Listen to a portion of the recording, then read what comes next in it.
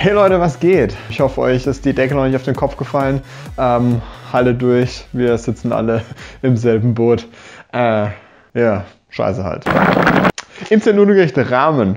Ich finde die Dinger übel geil. Mir schmecken die voll gut. Ich esse die voll gerne mal abends. Meine Frau sagt, das ist kompletter Trash. Aber jo, was gut schmeckt, schmeckt gut. Kann man auch nichts dran ändern.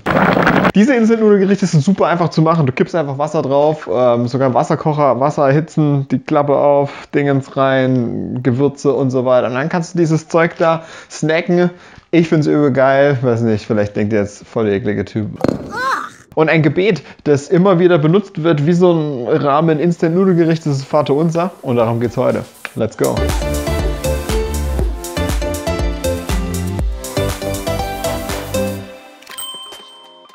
Das Vater Unser. Das ist ein sehr bekanntes Gebet und jeder, der Konfirmation gemacht hat, musste dieses Gebet spätestens da auswendig lernen. Ich musste es sogar noch in der Grundschule auswendig lernen. Vielleicht war das bei dir auch der Fall. Auf jeden Fall ist dieses Gebet wahrscheinlich das bekannteste christliche Gebet, das es gibt. Und dieses Vaterunser Gebet, das finde ich wird immer sehr interessant gebetet. Das wird wie so ein Singsang gebetet. Kennst du das? Vater unser im Himmel, geheiligt werde dein Name, dein Reich komme, dein Wille geschehe, wie im Himmel, so auf Erden. Und so fühlt sich manchmal dieses Gebet irgendwie an. Es wird einfach so runtergeleiert, es wird einfach nur irgendwie rezitiert. Und man muss auch sagen, so wie diese Sachen formuliert werden, das fühlt sich auch schon sehr fremd an. Allein schon die Formulierung Vater unser im Himmel, es wirkt schon sehr alt und antiquar, weil eigentlich könnte man einfach sagen, unser Vater im Himmel.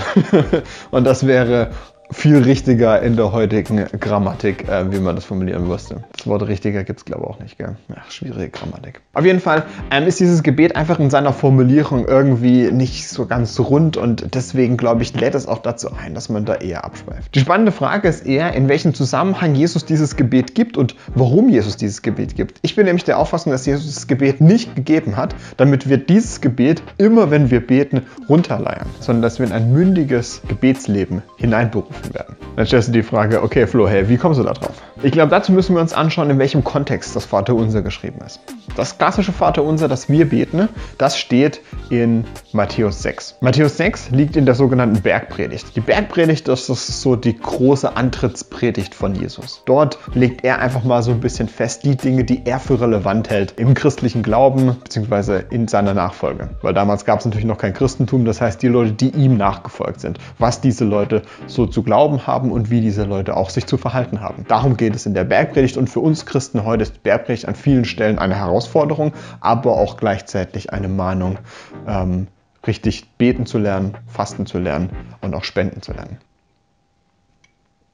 Erstmal einen Schluck Kaffee da drauf. Und das Vaterunser in Matthäus 6 ist eingebettet in diese Frage, wie sollen wir richtig beten? Die Jünger haben sich gefragt, also die Leute, die mit Jesus so ganz direkt unterwegs waren, ganz close mit ihm waren, haben sich gefragt, ja, wie, wie sollen wir eigentlich beten? Wie sollen wir eigentlich mit Gott, dem Vater, sprechen? Und Jesus, der gibt ihnen eine Idee, wie sie richtig beten sollen. Und eine Idee wäre auch, das Licht hier anzumachen. Oh, krasse Allegorie, gell?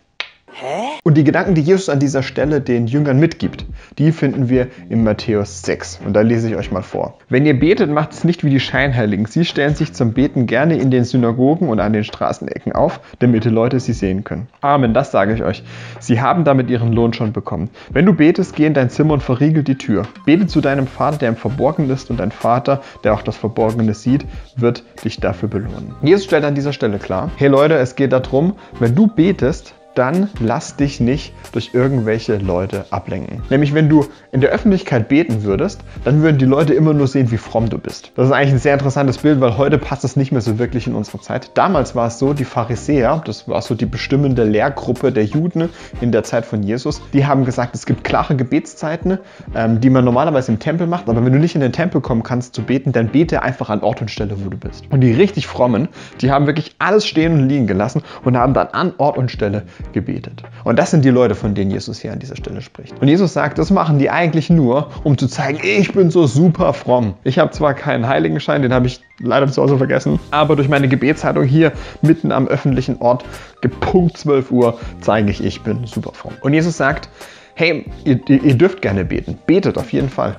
Aber zieht euch davor zurück. Damit es euch nicht darum geht, von anderen Leuten als super fromm gesehen zu werden, sondern betet, damit es euch wirklich darum geht, mit Gott Kontakt zu haben und mit ihm ins Gespräch zu treten. Heutzutage ist öffentlich Beten wirklich nichts mehr, was in unserer europäischen Gesellschaft zumindest wirklich passiert. Und deswegen stellt sich die Frage, was sagt dieser Text uns heute? Und ich glaube, dieser Text will uns heute sagen, hey, bete für Gott und bete nicht für, damit es andere sehen und damit andere dich für für sonderlich irgendwie fromm halten. Lass deine Gedanken fokussiert sein auf Gott. Lass ihm wirklich deine Gedanken gehören und nicht das, was andere über dich denken könnten, wie super fromm du bist oder sonst irgendwas. Gebet ist immer ein persönliches Gespräch zwischen Gott und dir. Und der zweite Punkt, den Jesus den ähm, Jüngern an dieser Stelle mitgibt, ist, ab Vers 7 in Matthäus 6, sprecht eure Gebete nicht gedankenlos vor euch hin. So machen es die Heiden, denn sie meinen, ihr Gebet wird erhört, wenn sie viele Worte machen.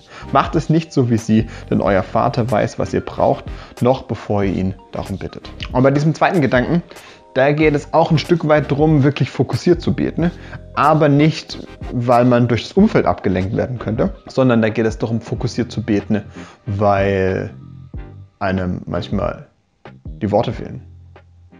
So wie mir gerade.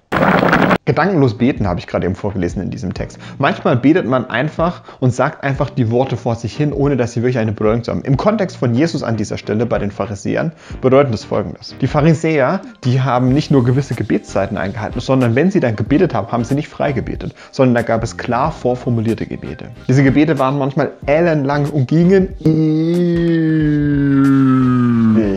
Und deswegen, weil die so ewig lang gingen, sind die Leute natürlich in Gedanken abgeschwiffen und haben irgendwas anderes gedacht. Und teilweise waren die Worte auch nicht einfach zugänglich. Das waren theologisch sehr vollgeladene Begriffe, mit der jetzt der einfache Mann, die einfache Frau vielleicht gar nicht so viel anfangen konnte. Und deswegen sind die Gedanken oft abgeschwiffen. Und das bringt uns ganz schnell auch zum Vaterunser heute. Nämlich, ich finde, so wird heute häufig das Vaterunser benutzt. Wenn das Vaterunser einfach runtergebetet wird, sind es oft so ganz merkwürdige Worte, die man gar nicht wirklich nachvollziehen kann. Führe uns nicht in Versuchung, sondern erlöse uns von dem Bösen. Ist Gott also derjenige, der uns in Versuchung führt? Ist es nicht irgendwie der Gegner von Gott oder, oder, oder das Umfeld um uns selber? Ist es jetzt plötzlich Gott oder was bedeutet das an dieser Stelle? Und da gibt es so viele Fragezeichen, die aufkommen, wenn wir das Vaterunser beten, dass an manchen Stellen das einfach schwierig ist.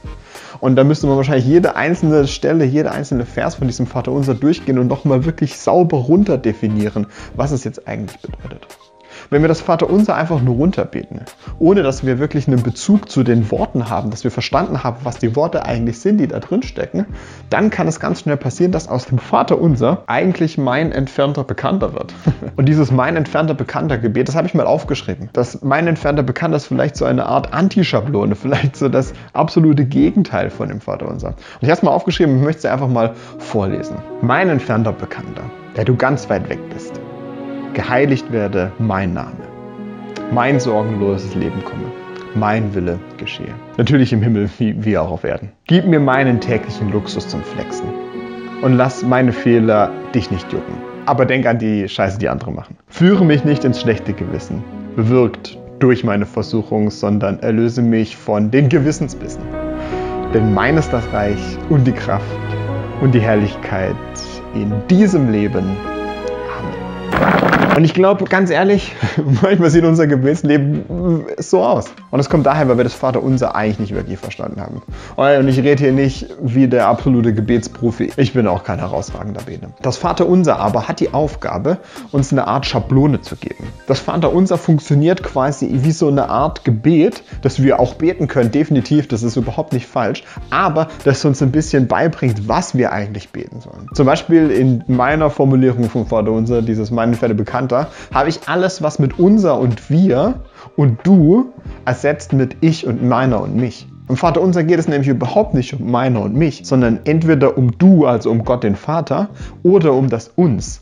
Also da schaut auch der Beter Jesus von sich selber weg und schaut auf die Gruppe um ihn herum. Und ich glaube, ganz häufig beten wir eher meiner, ich, mir anstatt für andere zu beten und Gott zu ehren, zu lobpreisen, ihm die Ehre zu geben, anstatt uns selber. Und auch wir beten häufig, glaube ich, nicht gegen Versuchung, sondern wir versuchen eher die Gewissensbisse auszublenden und dass die Gewissensbisse wegbleiben. Aber standhaft zu bleiben, wenn es auch mal schwierig wird in unserem Leben. Auch standhaft zu bleiben in der aktuellen Situation. Ich glaube, darum geht es.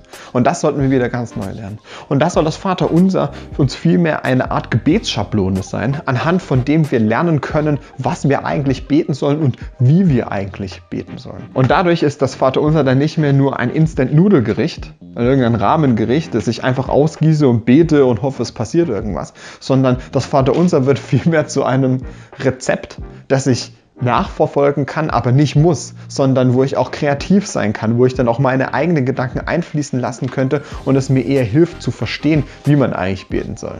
Jetzt habe ich das Ding immer noch in der Hand. Und da lade ich dich ein, ganz neu das Vaterunser zu entdecken und vor allem aber das Gebet zu entdecken mit Gott zu reden, mit ihm ins Gespräch zu gehen, ihm dein Herz auszuschütten und ihm zu sagen, wie großartig er ist und ihm aber auch die Anliegen und die Sorgen und Nöte von dir und deinem Umfeld ehrlich zu bringen und ehrlich ins Gespräch mit ihm zu gehen. So, wir sind schon am Ende dieses Videos angekommen. Vielen Dank, dass du dieses Video angeschaut hast.